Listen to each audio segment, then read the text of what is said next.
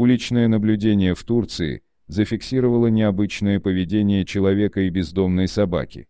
Видео попало в интернет, и с момента его публикации его просмотрели более миллиона пользователей.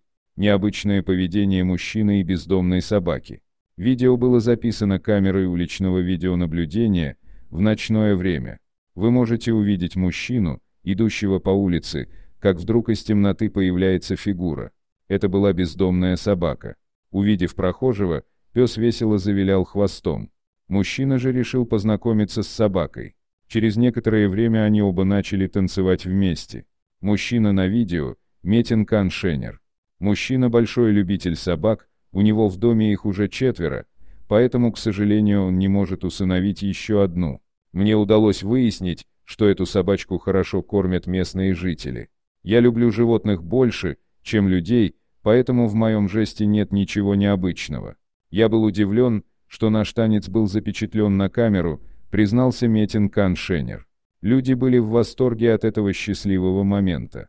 Благодаря этому собакой заинтересовалось очень много людей, поэтому велика вероятность, что вскоре собака найдет настоящий и любящий дом.